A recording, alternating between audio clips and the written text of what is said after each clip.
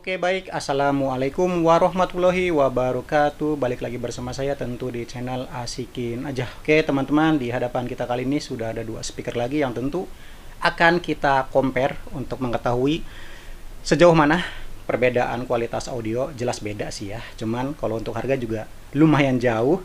Tapi ini mudah-mudahan jadi referensi, teman-teman ya. Kalau misalkan teman-teman nggak ada duit yang tidak ada nominalnya atau nggak ada batasnya ya udah langsung milih Marcel aja. Menurut saya sih ini paling enak renyah gitu ya. Tapi kalau dana kita terbatas sekitar satu juta aja apa high feature ini sanggup menyaingi kualitas audio dari Marshall yang harganya kurang lebih 3-4 kali lipat ya. Oke nggak usah lama-lama kita akan langsung nyalakan aja. Oke sudah menyala ini tentu saya pakai mode terbaiknya ya mode bass boostnya. Dan ini bassnya mungkin di angka 8 treble-nya di angka 6 ya. Jadi biar nggak terlalu nyaring-nyaring amat nggak terlalu detail-detail amat ya karena kalau yang mode bassnya ini dia berkurang juga detailnya. Jadi biar agak imbang aja gitu ya. Oke selamat menyaksikan.